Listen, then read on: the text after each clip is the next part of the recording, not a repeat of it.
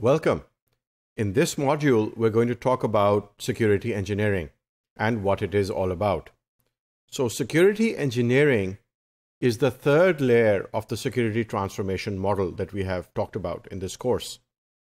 And it consists of more in-depth and slightly more complicated security activities, which take a little bit more time and a little bit more effort.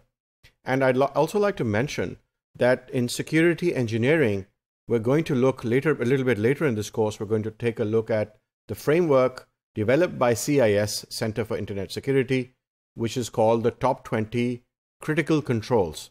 And this is an excellent framework of 20 controls, which looks at the security activities in an aggregate manner. So there are two, actually two ways to look at the security controls.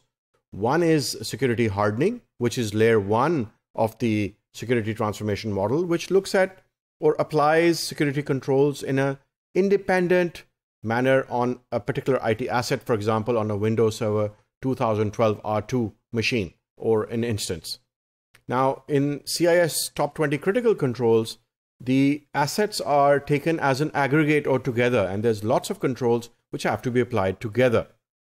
So uh, many times, the security engineering is related to security architecture. Here is another look at the security transformation model, the four-layered security transformation model, which we've talked about in this course.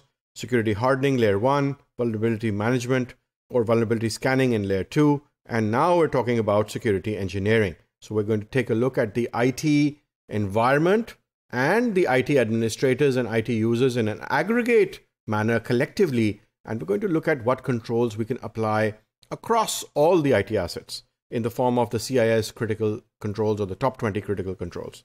Now, the types of activities which are usually performed in security engineering are, let's take some examples. Firewall granular access lists. So the firewall um, is placed either at the perimeter of the network or it is placed at the mouth of the data center to control and filter the traffic. So we're going to talk about granular access lists.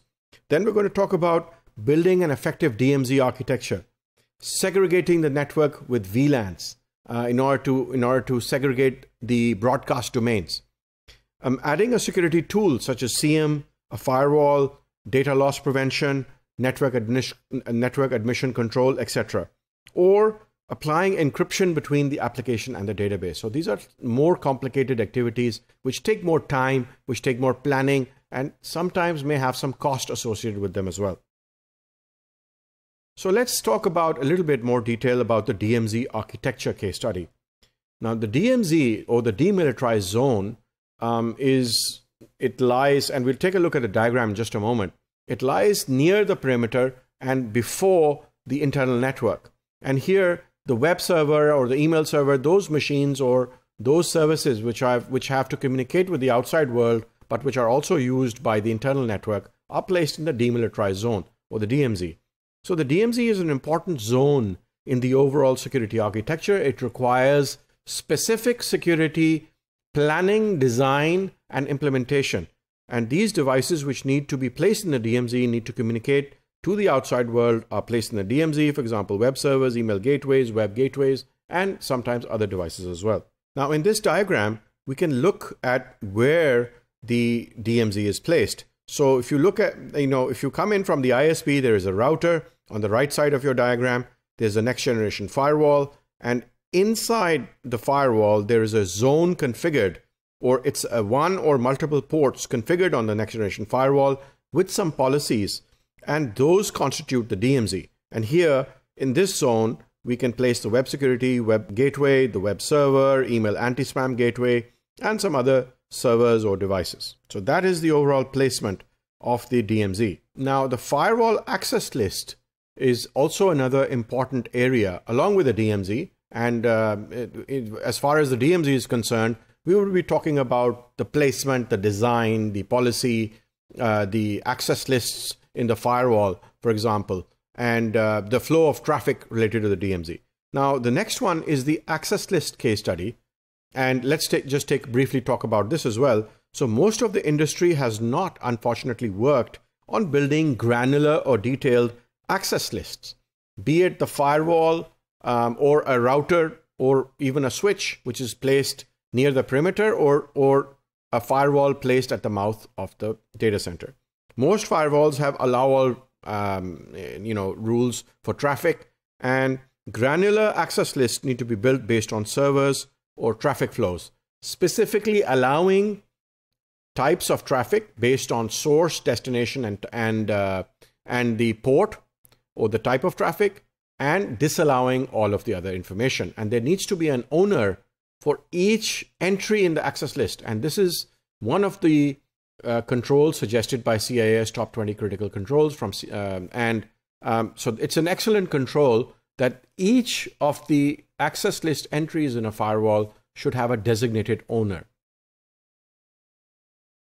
So why is the uh, why is security engineering at layer three of the security transformation model? We've already talked about what security engineering is. So uh, the low hanging fruit, which is the security uh, the security hardening and the vulnerability management is considered low hanging fruit. It has to be done first. Uh, teams tend to get bogged down with advanced security tasks, which lie in security engineering because they relate to architecture, moving devices around, uh, building detailed firewall access lists. These take time, effort, and often budget approval. And uh, it's always recommended because in security, we've been talking all along that in security we have to prioritize the more important tasks and the more more critical tasks or the easier task first in order to build some momentum and get some confidence. So it's recommended to do this to do security engineering more complicated tasks uh, which are which should be done after the low hanging fruit. And that's why security engineering is placed at layer 3 of the security transformation model. Thank you. That's all that we have for this module